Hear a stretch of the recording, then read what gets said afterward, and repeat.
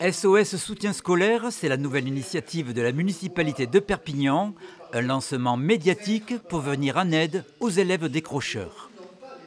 Le but de la manœuvre, c'est de pallier à une carence qui est momentanée, qui est due euh, au Covid-19, sur des cours que peut-être ils n'ont pas eu ou qu'ils ont mal eu. Dans les lycées, par exemple, on voit bien que tout ce qui se fait en distanciel, etc., et, c'est bien que ça se tienne, mais quelquefois, on peut dire que c'est assez aléatoire comme résultat. Euh, il est, aussi bon de...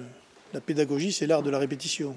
16 lieux d'études seront répartis dans les annexes mairies, les espaces jeunes ou les maisons de quartier. 50 étudiants seront recrutés en service civique. Ils assureront, avec des enseignants à la retraite volontaire, l'accompagnement aux devoirs des élèves de 4e, 3e ou seconde. On s'est rendu compte que c'est eux qui pouvaient être en décrochage scolaire un petit peu plus que les autres. Et surtout, il n'y avait pas de, structure ou de complément de soutien scolaire sur cet âge-là et sur, euh, ce, public qui est en, en fin de collège et en début de lycée. Un choix que les parents d'élèves critiquent, les élèves de classe primaire devraient être prioritaires.